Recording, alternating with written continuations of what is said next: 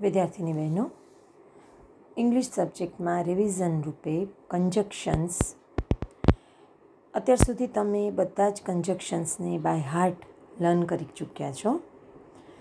છતાં થોડું ઘરે રહી અને વધુ ક્લિયર થઈ જાય એ હેતુથી અહીં કન્જક્શન્સને હું રિપીટ કરું છું. પહેલું છે એન્ડ જેનો અર્થ અને થાય છે. કોઈ બે કરતા હોય એને જોડવા માટે અથવા કોઈ બે ક્રિયા હોય એને જોડવાની હોય ત્યારે જેમ કે Aarav went to school he met the teacher Aarav શાળાએ ગયો અને શિક્ષકને મળ્યો. બંને ક્રિયા કરનાર કરતાં એક જ છે. બે ક્રિયા અહીંયા છે જેમ કે સ્કૂલે જવાની અને શિક્ષકને મળવાની. તો જોઈ શકો છો તમે કે went to school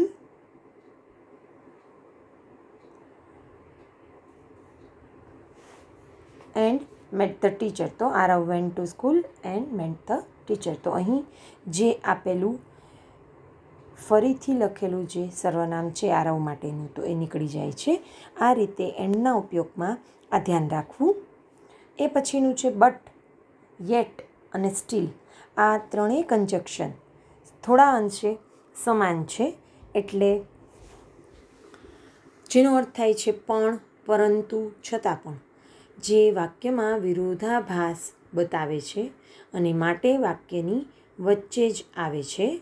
જોઈએ he is poor he is happy he is poor but yet still એટલે કે તો પણ, છતાં પણ અને પણ. હી ઇઝ હેપી છે વિરોધાભાસ? ગરીબ હોવા છતાં પણ, ગરીબ છે પણ ખુશ છે. ઓર અધરવાઇઝ ઓર એલ્સ આ ત્રણ કન્જક્શન્સનો અર્થ થાય છે, એક જ નહીંતર. જે પસંદગી અથવા તો ચેતવણીના રૂપમાં હોય છે. આ અથવા તે એ પસંદગી થઈ એટલે કે ટી ઓર કોફી તો પસંદગી થઈ અને અધરવાઇઝ ઓરેલ્સ ઓર આ ચેતવણીના રૂપે પણ બતાવી શકાય છે. જોઈએ example through keep silence get out keep silence or otherwise get out or else પણ મૂકી શકો છો. ચૂપ રહો, નહીતર બહાર નીકળી જાઓ. બરાબર છે?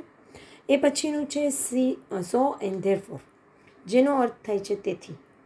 જે પરિણામ દર્શાવે છે અને એ પણ વાક્યની વચ્ચે આવે છે.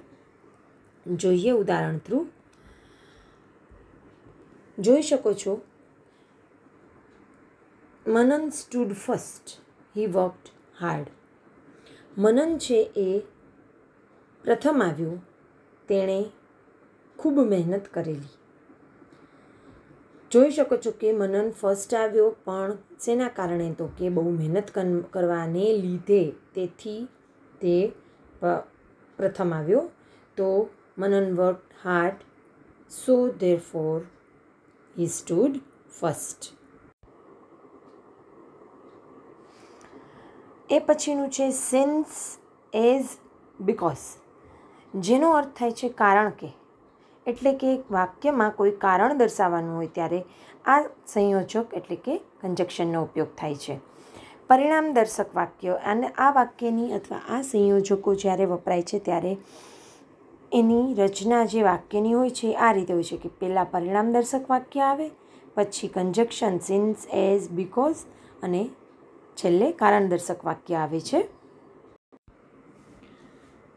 જોઈ શકો છો એક્ઝામ્પલમાં we cancelled our tour it was raining heavily અમે અમારી અમારો પ્રવાસ મુલતવી રાખ્યો કારણ કે ખૂબ વરસાદ પડી રહ્યો હતો.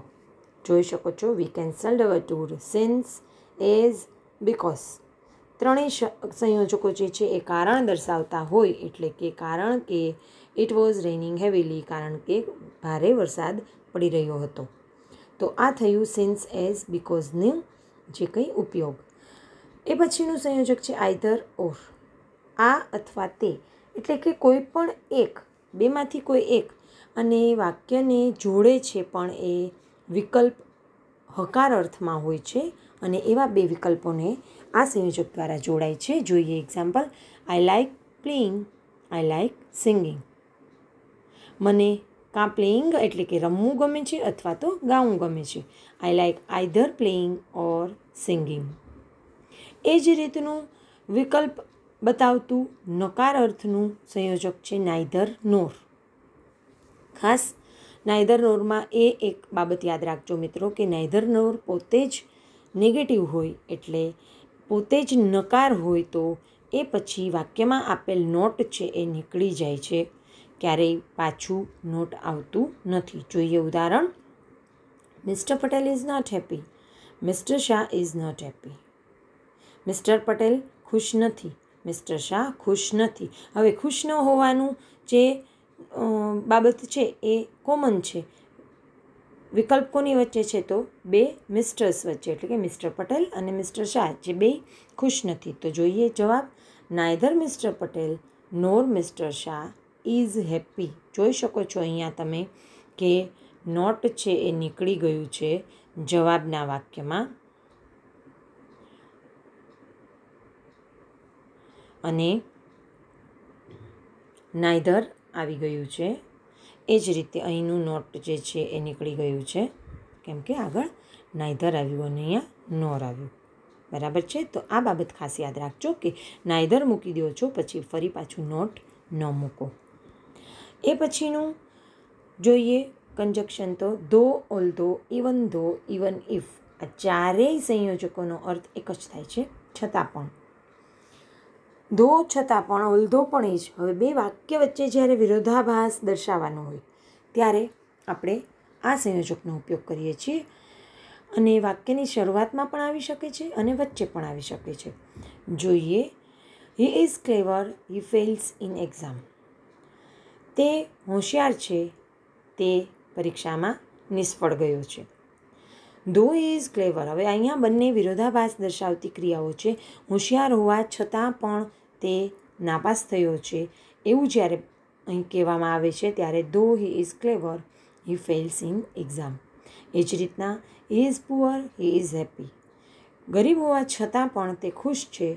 Although he is happy sorry although he is poor he is happy અને બે વાક્યને જ્યારે ધો ઓલ્ધો ઇવન ધો કે ઇવન ઇફ સંયોજકના ઉપયોગ વડે જોડવાનું થાય ત્યારે જો વાક્યની શરૂઆતમાં સંયોજક મૂકેલ હોય તો જ્યારે પણ આ વાક્ય મૂકો છો તો અલ્પવિરામ આવશે બંને વાક્યની વચ્ચે.